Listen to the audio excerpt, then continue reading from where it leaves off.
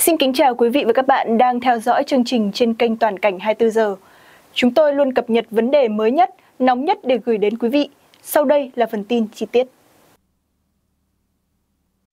Hàng chục năm qua, tình trạng sạt lở bờ biển trở thành nỗi ám ảnh ăn sâu vào trong tiềm thức của người dân làng trài Trung Phường, xã Duy Hải, huyện Duy Xuyên, tỉnh Quảng Nam, khiến ai nấy sống trong tâm thế nơm nớp lo sợ. Theo bà con địa phương, tình trạng sói lở cả cây số bờ biển, đoạn thuộc thôn Trung Phường diễn ra từ cách đây hơn 10 năm. Hàng chục ngôi nhà đã bị sóng nuốt chừng, khiến người dân phải khăn gói đi nơi khác sinh sống.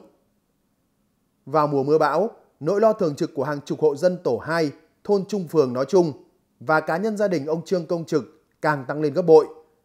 Hiện tại, ngôi nhà tránh nắng che mưa của vợ chồng ông Trực bị đặt trong tình trạng báo động khi chỉ còn cách mép sóng chừng vài bước chân.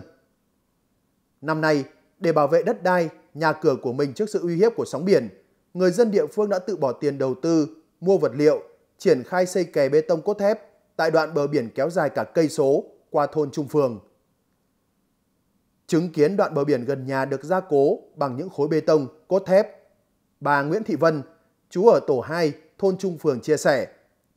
Mòn mỏi đợi chờ dòng dã cả chục năm, nhưng vẫn không thấy chính quyền địa phương triển khai xây dựng kè cứng, bảo vệ bờ biển, nhà cửa.